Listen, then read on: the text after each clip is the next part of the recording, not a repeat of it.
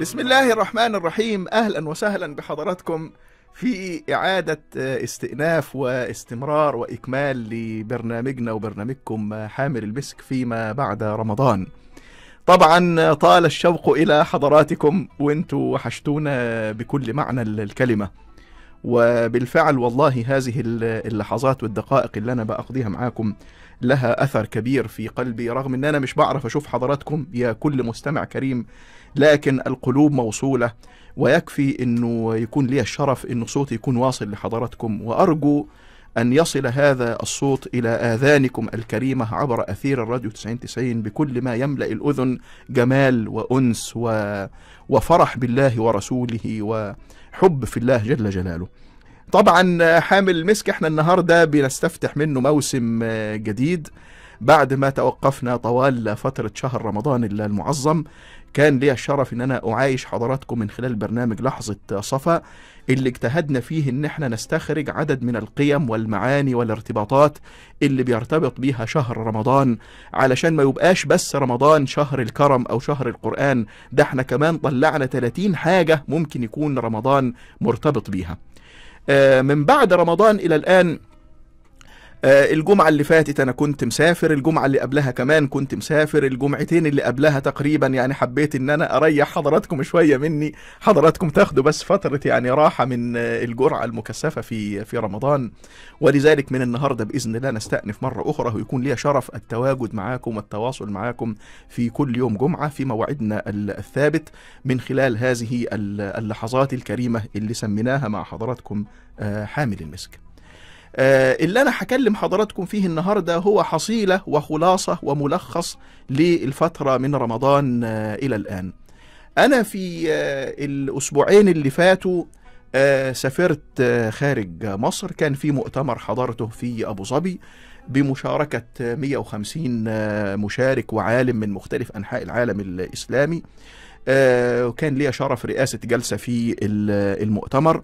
وبعد ما المؤتمر تم تحركت مباشرة من أبو ظبي في الإمارات العربية الشقيقة مباشرة إلى دولة تنزانيا في الشرق الأفريقي في مكان في تنزانيا اسمه زنجبار. زنجبار دي يا جماعة مكان الغالبية العظمى من سكانه مسلمين يمثل أحد أراضي دولة تنزانيا. وله تاريخ عريق جدا لأنه هذا البلد نزل فيه العمانيون أبناء عمان وأبناء اليمن وعدد وأبناء والهنود نزل فيه أعراق مختلفة ودخله الإسلام من عدة قرون. المؤتمر اللي أنا كنت بشارك فيه في تنزانيا كان عبارة عن احتفال بمرور مئة سنة على وفاة واحد من كبار علماء العالم الإسلامي. يمكن إحنا هنا في مصر ما بنسمعش عنه كتير لم تصل إلينا أخباره لكن اللي بيقلب صفحات التاريخ ويرى ما قام به علماء الإسلام في أقطار الأرض مشرقا ومغربا وما قاموا به من نشر الأمان والعلم والعمران والهداية والقيم والأخلاق. وصلة الرحم ومد الجسور وبناء العلاقات الحسنة مع غير المسلمين في تلك البلاد سواء في الملايو وفي أندونيسيا وماليزيا وسنغافورة وسريلانكا أو في الشرق الأفريقي في دولة تنزانيا وفي كينيا وفي أوغندا وفي الصومال في موزمبيق في جنوب أفريقيا. آه الجهود التي قام بها المسلمون في تلك البلاد جهود مشرفة جدا وجديرة بأن تدرس وفيها نماذج ملهمة وعبقرية. طبعا يمكن إحنا ما, ما عندناش معلومات واضحة عن الشرق الأفريقي إلا في السنوات الأخيرة لما بقينا نسمع عن بلاد عزيزة على قلوبنا بقت عرضة وبقت كلأ مستباح لل... للإرهاب وللقاعدة ولداعش. هذه التنظيمات المتطرفة التي تسرح وتمرح في أرض الصومال العزيزة والغالية على قلوبنا. الصومال دي كانت في يوم من الأيام مملكة عظمى ودولة متماسكة وبلد آمن وكان يربط بنا كمصريين صلة صلات عميقة وعريقة. وكان لنا إحنا كمصريين وللأزهر الشريف دور عظيم في القرن الأفريقي خصوصا في الصومال وفي جيبوتي في أريتريا. المنطقة دي من العالم والمنطقة دي من القارة الأفريقية. لنا إحنا كمصريين فيها تواجد عظيم ومشرف.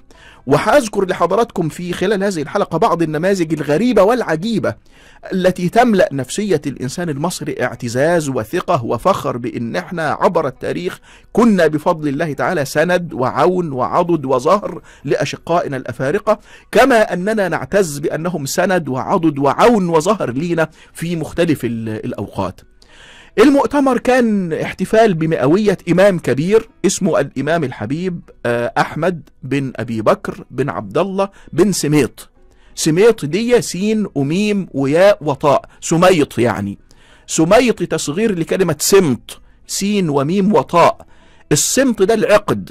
يعني لما حد يجيب خيط كده وي وي وينظم فيه عدد من اللآلئ والجواهر أم يسمى هذا ال ال الوسام يسمى بالسمط.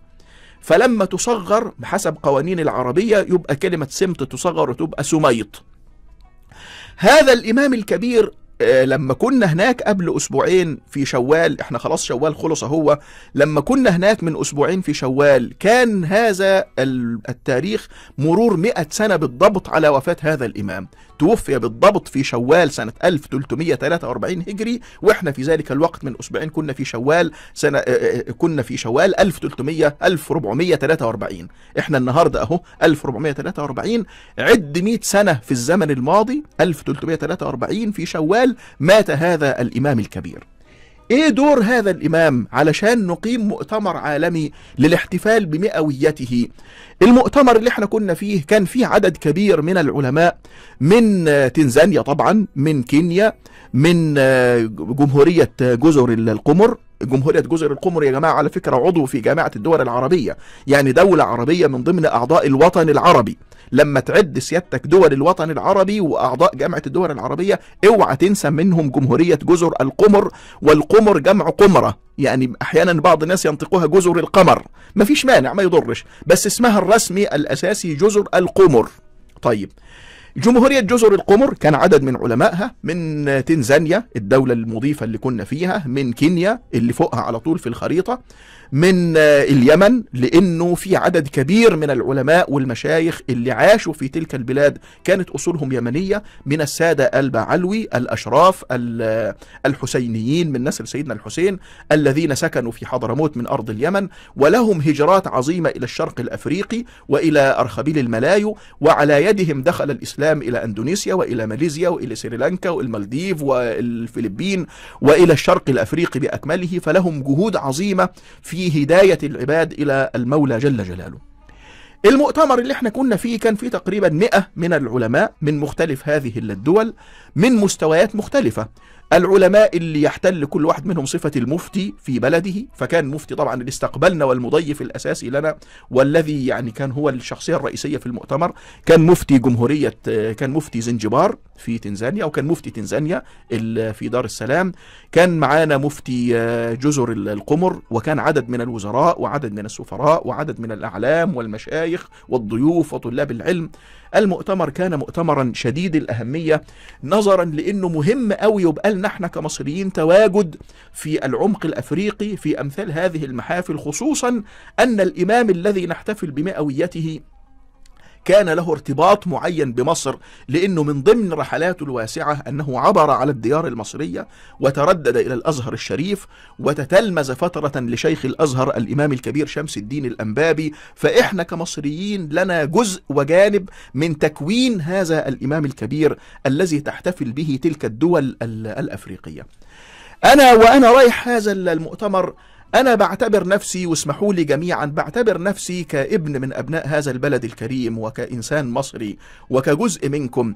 بعتبر نفسي نيابة عنكم ممثل لكم وجه من الوجوه المصرية اللي أرجو أن يكون لها يعني قبول ولها أداء مؤثر. وتحظى باحترام العلماء في تلك البلاد. أرجو يا رب أن أكون يعني أن, أن أنجح في القيام بهذه بهذه الصفة الرفيعة. يعني كنت نائب عن حضراتكم عن المصريين جميعا عن المئة مليون مصري. كنت موجودا هناك كجزء معبر عن مصر في هذا الملتقى والمحفل العلمي والكبير الذي يحتفل فيه بشخصية إمام كبير من كبار علماء العالم الإسلامي. المؤتمر أنا أخذت هناك تقريبا آه، أسبوع في آه، في زنجبار. وزنجبار دي بالمناسبة يا جماعة برضو لها تاريخ عريق ومشرف وتألف فيه كتاب اسمه جهينة الأخبار في تاريخ زنجبار في تاريخ الإسلام في زنجبار. زنجبار دي كانت في الأساس تعرف قديما ب- ببر الزنج. بر المقابل لكلمة بحر والزنج اللي هو يعني المجموعة الأعراق والشعوب ال ال التي لها بشرة سمراء في العمق ال- الأفريقي من الأشقاء الكرام والغاليين على قلوبنا. آه، بر الزنج وبعد كده حصل تغير في الكلمة فبقت زنج بر وبعد كده تحولت كلمة بر فصارت بار ومزجت الكلمة فبقت زنجبار وبقت هي دي الاسم ال- الإقليم ده أو الجزء ده من من دولة تنزانيا. الكتاب جهينة الأخبار مطبوع في مجلد اللي يقرأ الكتاب يلاحظ أنه إلى هذه الدرجة عدت عقود وقرون من الزمان والمسلمين موجودين في تلك البلاد ولم يلمس الناس منهم في مختلف الأديان والأعراق والشعوب لم يلمس الناس منهم إلا المظهر اللائق بالمسلمين. عاش المسلمون هناك بصورة ممتلئة بالخلق بصلة الرحم برعاية حسن الجوار بالسماحة في البيع والشراء والت- والت- والتقاضي. رحم الله رجلا سمحا إذا باع سمحا إذا اشترى سمحا إذا اقتضى. عاش المسلمون هناك وتقلدوا مختلف المناصب.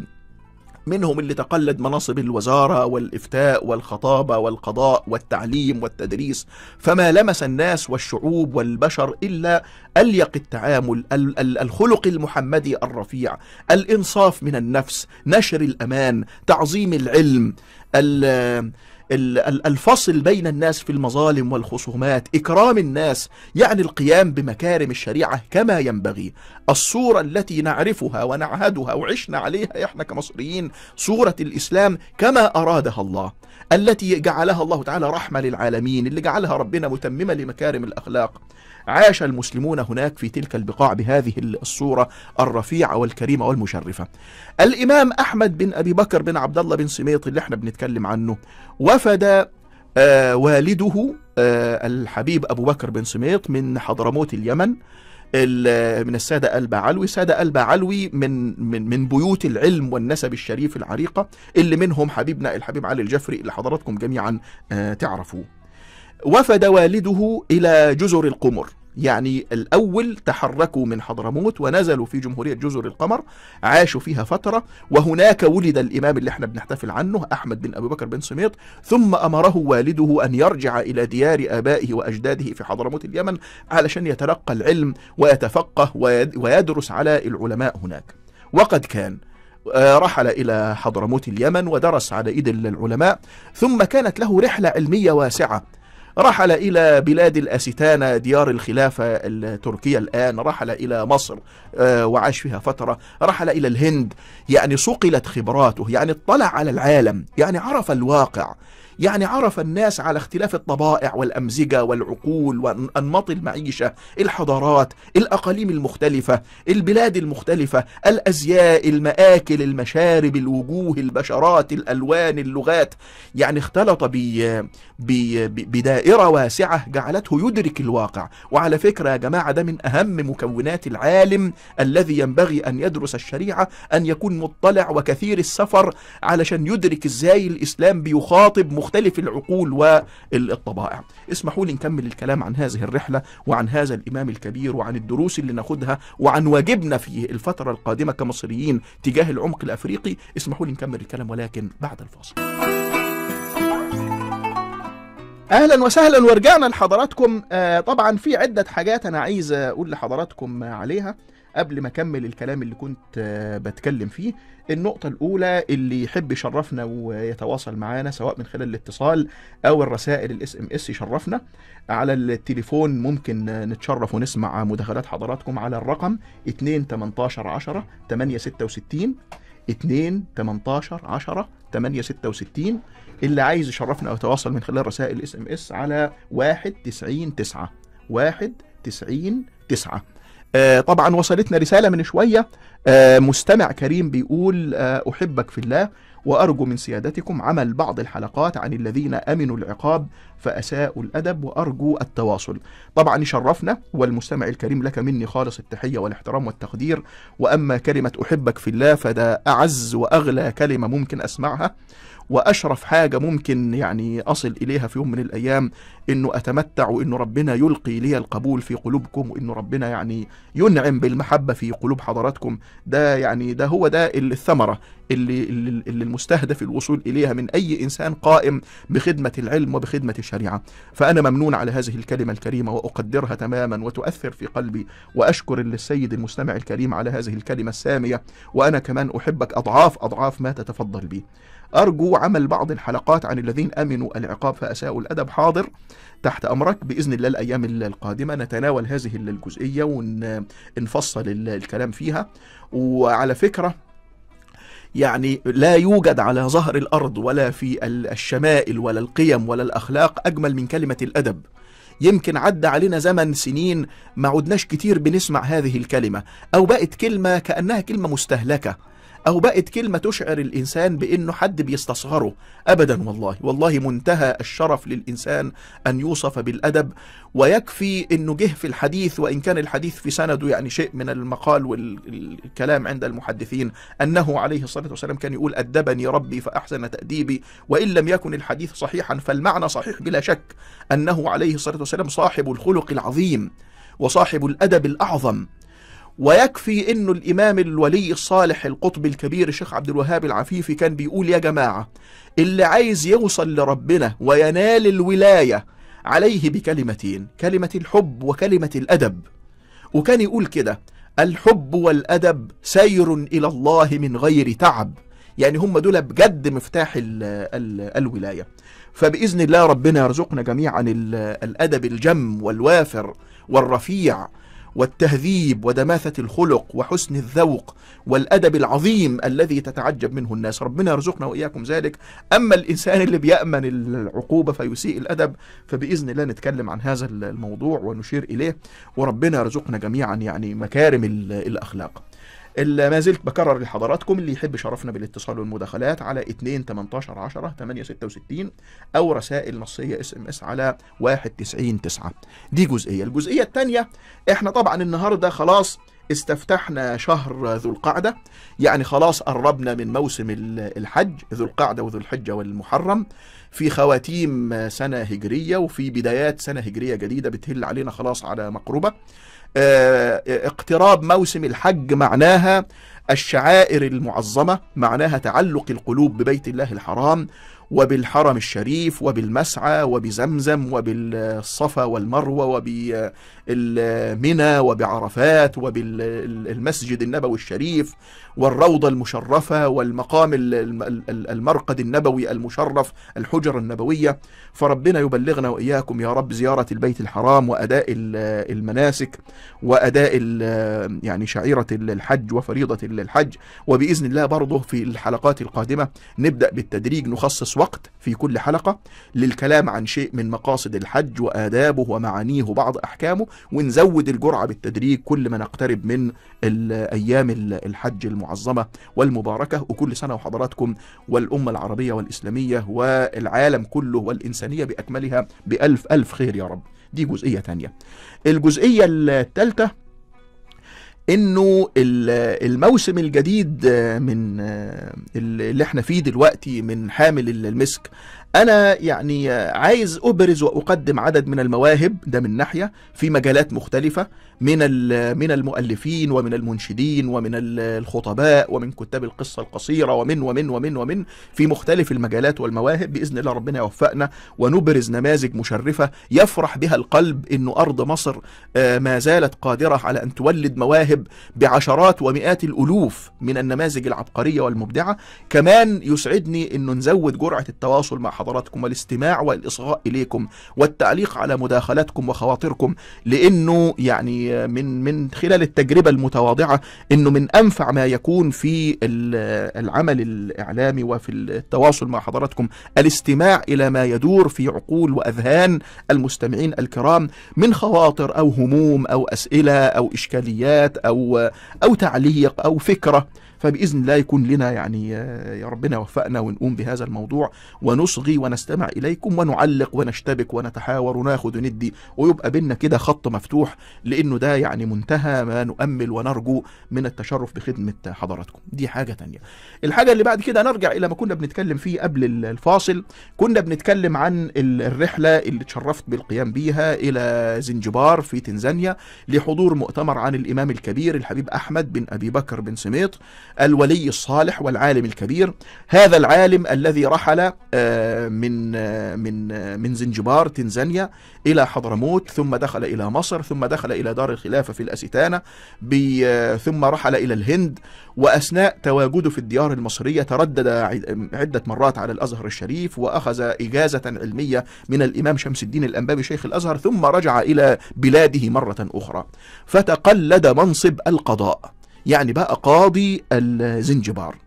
والعجيب أنه ظل في منصب القضاء قرابة أربعين سنة بحيث تعاقب على سلطنة زنجبار سبعة من السلاطين وكل ما يأتي سلطان جديد يقره هو في مكانه.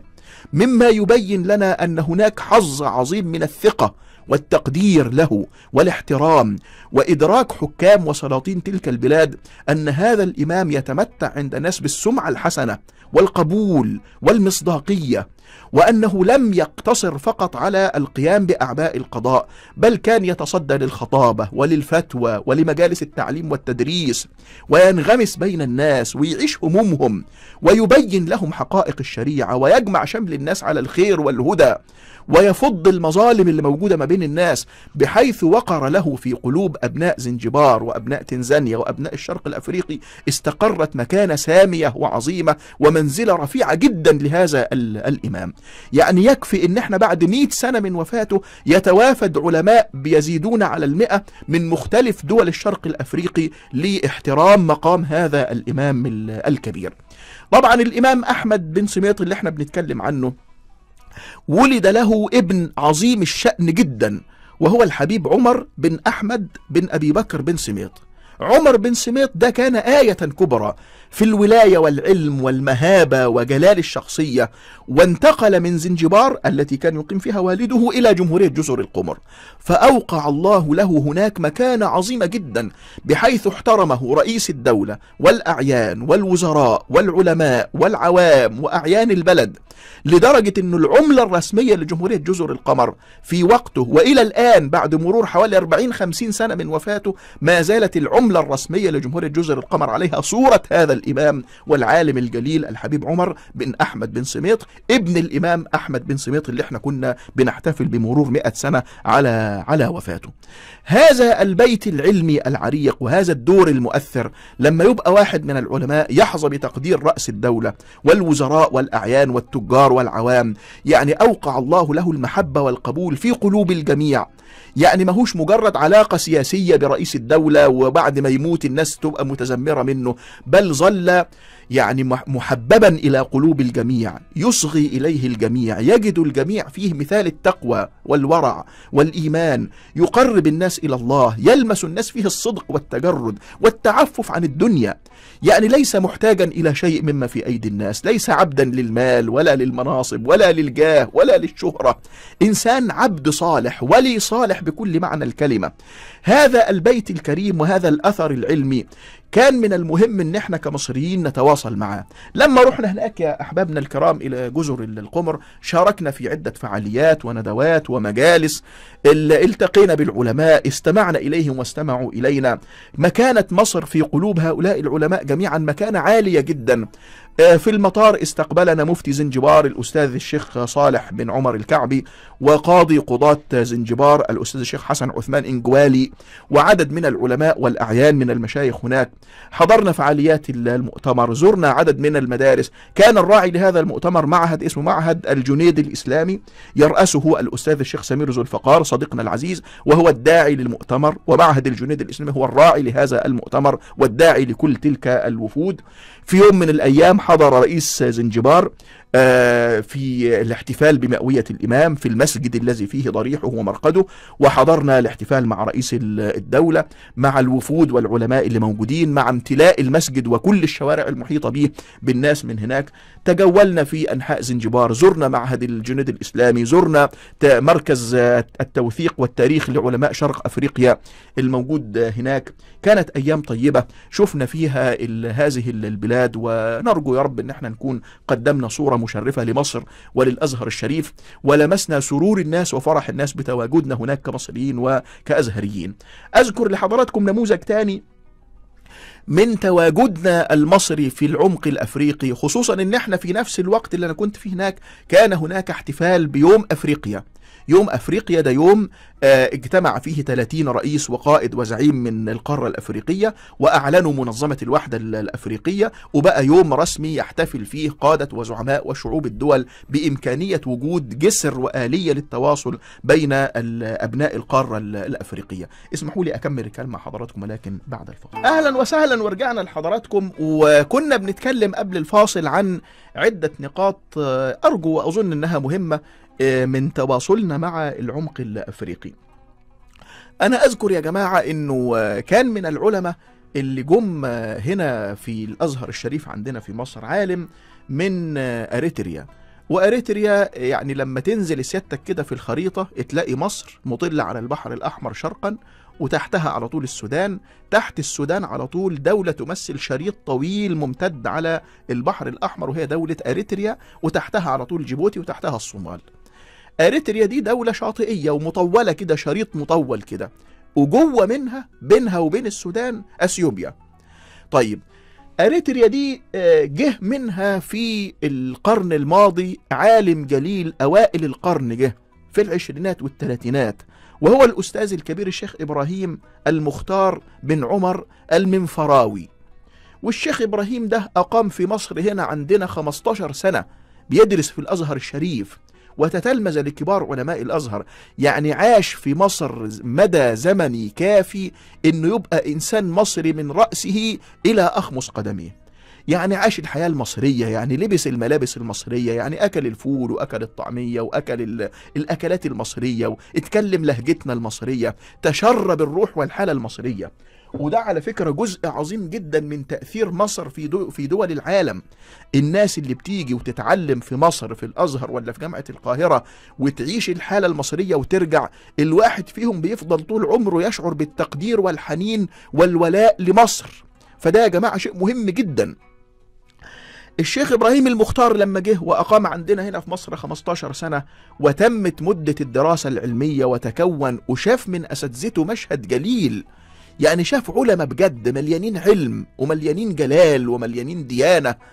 لما تمت فترة تكوينه العلمي وحب يرجع إلى إلى أريتريا بلده ويرجع إلى وطنه علشان ينفع الناس بما تعلم كان في ذلك الوقت الطيران شحيح شوية وقليل وغالي شوية فحب يرجع إلى بلده من خلال البحر فتوجه إلى السويس ومن هناك ركب الباخرة التي تبحر في البحر الأحمر جنوبا حتى تنزل في آه، بلده أريتريا. لما أطلقت الباخرة صافرتها الأخيرة آه، لتعلن أنها ستبحر ويعني تنطلق بكى الرجل بكاء عظيما.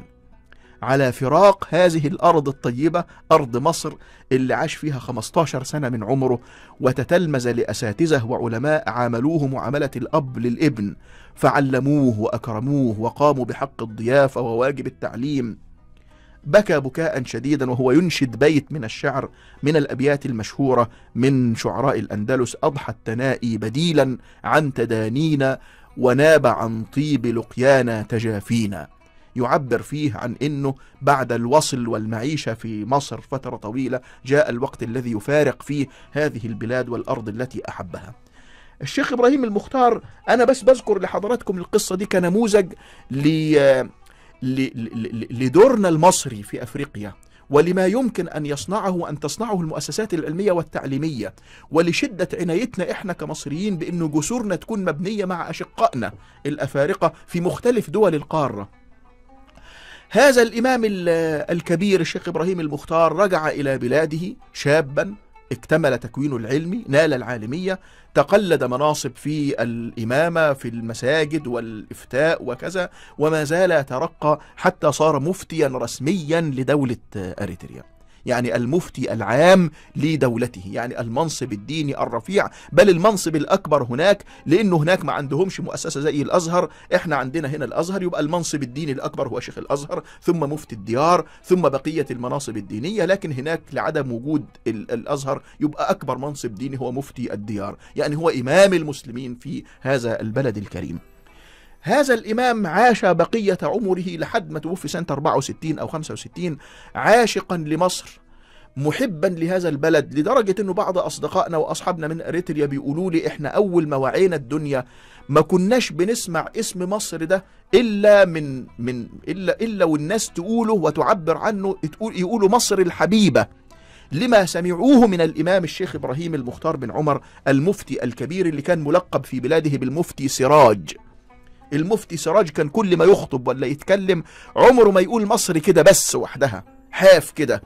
يقول مصر الحبيبة لدرجة إنه في أجيال في تلك البلاد طلعت وهي فاكرة إنه مصر اسمها مصر الحبيبة اسم البلد كده مصر الحبيبة. من كثرة ما سمعوه من لسان هذا الإمام العظيم اللي عاش مصر وأخلص الحب والولاء لها. بلغ من عظيم محبة هذا الإمام لأرض الديار المصرية إنه لما جه العدوان الثلاثي سنة 56 وأدرك أن البلد الذي علمه وأكرمه يتعرض للعدوان أرسل برقية عاجلة إلى الرئيس جمال عبد الناصر يقول له فيها أنا مستعد أن آتي إلى مصر متطوعا في جيشها العظيم للدفاع عن هذه الأرض الطيبة التي علمتنا وأكرمتنا إلى آخر البرقية اللي بعتها للرئيس جمال عبد الناصر. الله يرحم الجميع. اللي أنا بقوله لحضراتكم ده نموذج تكرر عشرات ومئات المرات من علماء أزهريين جم من السودان من أريتريا من أوغندا من الصومال من كينيا من تنزانيا من السنغال من موريتانيا من المغرب من الجزائر من تشاد من مالي من النيجر. من الجنوب الأفريقي جنوب أفريقيا من موزمبيق من مختلف دول القارة الأفريقية وأنا أحصيت من هؤلاء العلماء عشرات ومئات في الكتاب اللي ألفته وسميته جمهرة أعلام الأزهر الشريف في القرنين الرابع عشر والخامس عشر الهجريين من النماذج العجيبة المعبرة عن إنه يا جماعة بيننا وبين الأشقاء الكرام في أفريقيا جسور وتراكم تاريخي وأثر مصري عظيم. حفر في وجدان أبناء تلك البلاد. والله يا جماعة أنا أذكر قبل حوالي مثلا 12 13 سنة زرت الجزائر. الجزائر لما راح فيها الإمام الشيخ محمد متولي الشعراوي رئيس لبعثة الأزهر الشريف في الجزائر ضمن حملة الرئيس هواري بومدين لتعريب الجزائر واستعادة اللغة العربية بعد ما فرنسا حاولت إنها تطمس الهوية العربية في الجزائر. بدأ الأزهر الشريف يبعث بعثة اسمها بعثة الأزهر الشريف لتعريب الجزائر. الأزهر الشريف خد فترة كده خلال الخمسينات والستينات والستينات والستينات والسبعينات عظيم الأثر جدا في في الجزائر. لما أنا رحت هناك من 12 13 سنة طلبت إن أنا أزور مدينة من المدن اسمها مدينة معسكر علشان جه منها عالم أزهري درس في الأزهر ومشي رجع بلده قبل قرنين من الزمان. فأنا طلبت أن أنا أزور قبر وضريح هذا الإمام مترحما على هذا الإمام الجزائري الكريم اللي جه واتعلم في مصر وبقى جسر ما بين مصر وبين الجزائر. طلبت إن أنا أروح أزوره في هذه المدينة أزور قبره وأقف مترحمة عليه وأقرأ الفاتحة. رتبوا لي عربية من مدينة تلمسان ورحنا إلى مدينة معسكر ووصلنا إلى المدينة هناك. ولما دخلنا إلى مبنى بلدية المدينة بعض الشخصيات الرسمية من المدينة كانوا في الانتظار. أول ما شافوني داخل وأنا مرتدي الزي الأزهري قام واحد منهم احتضنني وبكى. فأنا يعني بادلت الترحيب بالترحيب وأنا مندهش يعني ليه الانفعال الكبير والتأثر. بعد ما هدأت نفسه بيقول لي هو أنتوا افتكرتونا مرة تاني؟ ده آخر عمامة أزهرية إحنا شفناها في هذه البلد سنة 72 فيا جماعة إلى هذا الحد إحنا وجودنا مهم وتوجهنا واهتمامنا وخدمتنا للأشقاء الأفارقة لأن هم السند هم الظهر هم الأشقاء الكرام اللي هم جزء مننا وإحنا جزء منهم. في ختام هذه الحلقة يعني كم أنا سعيد بعودة البرنامج حامل المسك. الجمعة اللي جاية إن شاء الله يعني أتشرف أكون معاكم ويمكن نستضيف بعض الشخصيات اللي يهم حضراتكم أنكم أنتم تسمعوها. آه إلى ذلك الحين يعني أتمنى لكم كل التوفيق الدقائق وأطيب الأوقات وأوجه الشكر الجزيل إلى الإعداد الكريم الأستاذ محمود الجلاد الصديق الأستاذ محمد ساري مهندس صوت وكل فريق آه، راديو 9090 وإلى حضراتكم أطيب التحية وألقاكم في حلقة قادمة وإلى ذلك الحين أترككم في أمان الله.